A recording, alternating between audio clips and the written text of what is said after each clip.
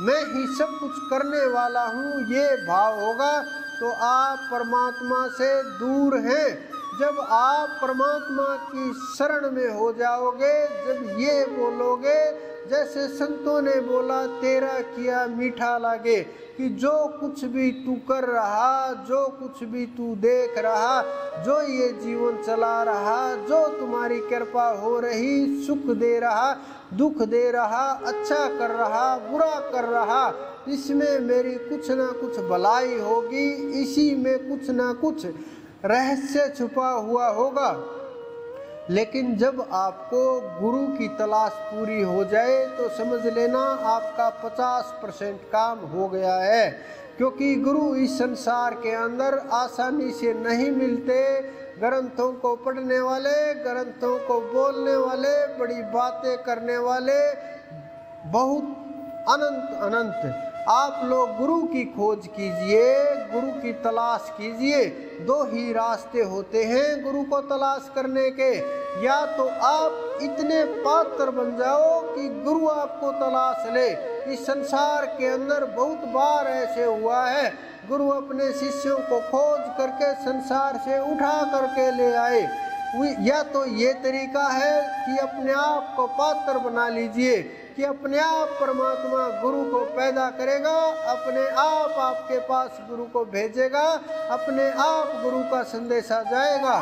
दूसरा तरीका ये होता है कि आप उस परमात्मा से प्रार्थना करें, खोज करें संसार के अंदर, गुरु की तलाश करते रहें। तो जब तक तलाश पूरी ना हो जाए, तब तक भटकते रहें, भागते रहें, लेकिन भजन को न छोड़े। तब तक उस परमपिता परमेश्वर को अपना गुरु मान करके, अपना इष्ट मान करके उनके शरणागत रहें, ध्यान करते रहें, सुमरण करते रहें। क्योंकि सुमरण का जो रहस्य होता है, वो इतना ताकतवर होता है, इतना ताकतवर होता है, आपका एक एक अंग जागृत होने लगता है, आपके एक एक अंग फड़फड़ाने लगता है और आपकी चढ़ाई शुरू हो जाती है, जो वर्षों वर्षों से जिन अंगों के अंदर एक कुछ भी चीटी रेंगने तक का एक्टिविटी नहीं हुई, पता नहीं चला, नशे खत्म हो चुके बिल्कुल खत्म हुए हुए हैं। वहाँ भी अगर आप नाम की ताकत का प्रभाव करोगे तो उनके अंदर भी ताकत आने लगती है, उनके अंदर भी जान आने लगती है, उन तक भी वो सत्ता पहुँचने लगती है। तो नाम के अंदर इतनी ताकत है, नाम खुमारी नान का चढ़ी रहे दिन रात। जब ये नाम की खुमारी चढ़ जाती है, नाम हर पल हो जाता है, नाम हर समय रटने लगते हो नाम जब अंदर में चलने लगता है तो फिर खेल दूसरा ही शुरू हो जाता है। अंदर में खेल जब ताकत शुरू होती है, नाम के साथ साथ आप उस ताकत के साथ जुड़ जाते हो, जो एज जाप कहते हैं। तो ये भी पीछे छूटते चले जाते हैं, बस ध्यान रहता है और आप उस ताकत, उस नाम के साथ जुड़ जाते हो जो न कभी इस मुख से बोला जाता है, न मुख से दिया जाता है, न मुख से रटा जाता है, न वर्णन किया जा सकता है, न शब्दों के अंदर आता है, न वर्णों के अंदर आता है, क्योंकि वर्णात्मक नाम से जब धुनात्मक नाम चला जाएगा, जब धुनात्मक हो जाएगा तो वो धुन शुरू हो जाएगी, वो गूंजने लगेगी। जब उससे आगे बढ़ोगे तो फिर काल, महाकाल सब कुछ पीछे रह जाएगा। उसका सत्ता का जब आप ताकत अनुभव करोगे, आपके शरीर के अंदर, आपके आत्मा के अंदर, आपके आत्मविश्वास के अंदर आपका जीव परिवर्तन होने लगेगा। आपको पता लगने लगेगा कि हाँ मेरे अंदर कोई ऐसी ताकत विराजमान है जो आस पास भी कुछ गलत नहीं होने देती, हमारा तो गलत कैसे कर पाएँगे? तो उस नाम के अंदर इतनी ताकत होती है, आप उस नाम का प्रयोग करना, उपयोग करना, रटना जब सीख जाओगे तो ये तो बहुत छोटी छोटी चीज़ें हैं। जब आप उस नाम का संसार के अंदर जब प्रचार प्रसार करोगे, जब ताकत का पता चलेगा संसार के अंदर छोटी छोटी ताकतों को भूल जाओगे, आसपास भी नज़र नहीं आएँगी। आपके अंदर का भय समाप्त होने लगेगा, डर निकलने लगेगा कि हमारे ऊपर कोई कुछ प्रभाव करा दे। अरे नहीं, जब आप समर्थ के सानिध्य में होगे, जब नाम के सानिध्य में होगे, नाम की डोरी जब जुड़ जाएगी, आपकी तरफ़ कोई देख भी नहीं सकेगा, क्योंकि उनके रक्षक स्वयं परमात्मा होते हैं।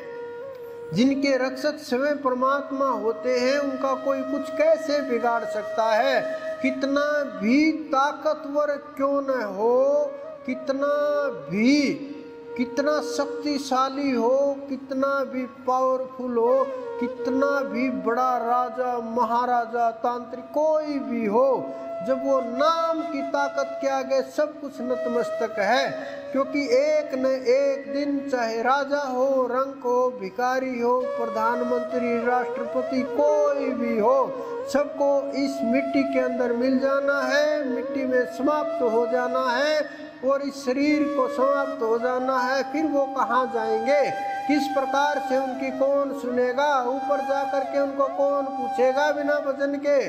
लेकिन जब आप भजन करोगे तो आपको अंदाज़ा होगा, पता चल जाएगा, आपकी स्थिति क्या है, उनकी क्या है? वो कहाँ भेजे जाएँगे? आप कहाँ भेजे जाएँगे?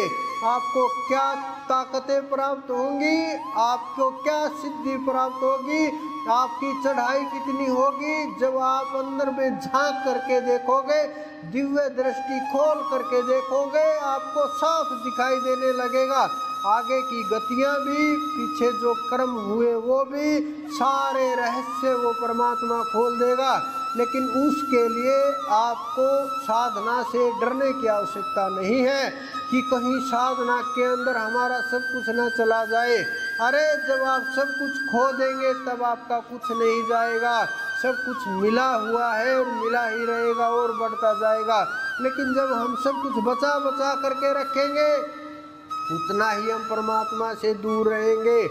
जितना आप ध्यान के अंदर समय लगाओगे, सुमरण के अंदर लगाओगे, वही समय आपका अपना समय है। जो आपके अपने काम आएगा, अपनों के काम आएगा, आत्मा के काम आएगा, और आपके कल्याण का वही मार्ग निश्चित करेगा, वही मार्ग खोलेगा, वही चढ़ाई का रास्ता देगा, क्योंकि उसके बिना आप उस परमपिता तक नहीं पहुँच सकते, क्योंकि ये कर्म जब तक नहीं कटेंगे, समाप्त नहीं होंगे, ये जीव जीवन मुक्त नहीं हो सकता। संसार के अंदर आता रहेगा, जाता रहेगा, भटकता रहेगा, दुखी, परेशान होता रहेगा, फंसा रहेगा लड़ाइयों के अंदर, फंसा रहेगा छोटी छोटी इच्छाओं के अंदर। तो आप इन छोटे छोटे विषयों के साथ आ कर के जुड़े, लेकिन आप उस सच्चे बादशाह की तरफ़ बढ़ना शुरू हुए तो आपको वो विशाल, वो अनंत परमात्मा प्राप्त होगा, जिसके लिए आप यहाँ तक पहुँचे। परमात्मा ने किसी भी कारण से जीवों को कहीं से भी किसी भी प्रकार से उठा करके जिस प्रकार से इस पंडाल के अंदर इकट्ठा कर दिया, यहाँ इकट्ठा कर दिया, उसी प्रकार से जीव संसार के अंदर इकट्ठे होते हैं। कोई कोई जीव बन करके आता है, कोई कोई जीव बन करके आता है। इसी प्रकार से जब ये सत्संग खत्म होगा, सब अपने अपने घर चले जाएँगे। उसी प्रकार से सब के सब जीव। जब ये मृत्यु आएगी, काल महाकाल आएँगे, उठाएँगे, ले जाएँगे, अपने अपने कर्मों के अनुसार स्थानों के ऊपर भेज दिए जाएँगे। फिर इकट्ठे होंगे, फिर बिछड़ जाएँगे, फिर इकट्ठे होंगे, फिर बिछड़ जाएँगे। इसी प्रकार से ये माया, काल का खेल, ये जाल चलता रहेगा। लेकिन जब आप इस जाल को तोड़ करके इसकी रस्सी बना नाम रटेंगे, कोई ताकत इस ब्रह्मांड के अंदर ऐसी नहीं जो आपका रास्ता रोक देगी। कोई भी ताकत आपकी तरफ़ देख नहीं पाएगी, क्योंकि नाम का जब आप प्रयोग करते हो, कोई भी देवता आपके नज़दीक आपका बुरा नहीं सोच सकता। जब नाम का प्रयोग होता है, वहाँ देवता ये सोचने लगते हैं क्यों ना इनके अंदर जो ताकत है, वो इसके, ये मेरे लिए सही से इस्तेमाल करे। ये ताकत मेरे कल्याण में सहायक हो जाए। वो आपसे ये उम्मीद करेंगे, ये मेरा भला कर दे। अगर यकीन ना हो तो आप करके देख लीजिए। ये अनुभव की बातें हैं, ये कहीं सुनी हुई पड़ी हुई बातें नहीं हैं। आप करके देख लीजिए अनुभव। हम तो अनुभव बोल रहे हैं। संतों ने जो अनुभव किया है, वो बोल रहे हैं, जो हमने खुद एक एक चीज़ देख करके अनुभव किया, वो वर्णन कर रहे हैं। जब आप बोलोगे, आप देखोगे, आपको अनुभव होगा। आप भी इसी प्रकार से बोलोगे, कोई रोक नहीं पाएगा। उस ताकत को जो आपके अंदर विराजमान है। लेकिन शुरुआत तो कहीं ना कहीं से करनी पड़ेगी।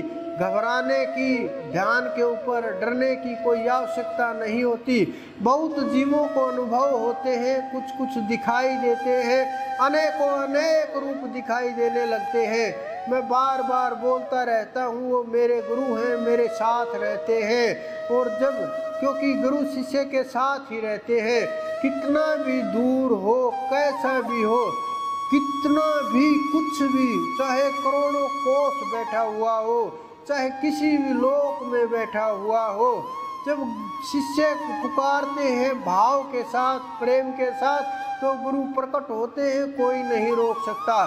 तो मेरे गुरु हर समय हम मेरे साथ ही रहते हैं और जब वो साथ रहते हैं, बहुत लोगों को अनुभव भी होते हैं, बहुत लोगों को दिखाई भी देते हैं, बहुत आ करके मुझे प्रसन्न भी करते हैं, आज ये दिखा मुझे आपके साथ ये ये। मैंने कहा कि आप ध्यान कीजिए बस, क्योंकि वो तो आपको दिखाई देते रहेंगे। उनकी कृपा वृष्टि संसार के ऊपर इस जगत ब्रह्मांड के ऊपर चलती रहेगी। तो आप ध्यान कीजिए। अगला जो प्रोग्राम होगा, वो तीस तारीख को है। और रक्षाबंधन का जो, क्योंकि इस बार रक्षाबंधन इकतीस तारीख को होगा, दिन में तो मना कर दिया पंडितों ने। क्योंकि मैं जानता हूँ, मैं बोलूँगा भी तो भी आप मेरी कम ही सुनेंगे। क्योंकि पंडितों के साथ आजकल ज़्यादा तालमेल होता लोगों का तो उन्होंने मना कर दिया कि तीस को रात तक, नौ बजे तक राखी नहीं बाँध पाएँगे। तो आप तो उनके अनुसार ही चलोगे, लेकिन हमारा प्रोग्राम पूर्णिमा तीस का ही होगा। तो आप ध्यान कीजिए, सुमरण कीजिए सेवा कीजिए, लोगों की सहायता कीजिए और उस परमात्मा का नाम रटिए। यही आप सब लोगों के लिए श्रेष्ठ रहेगा। आप सब के अंदर विराजमान उस परमपिता, परमेश्वर, मेरे गुरु, मेरे इष्ट को मेरा बार बार प्रणाम।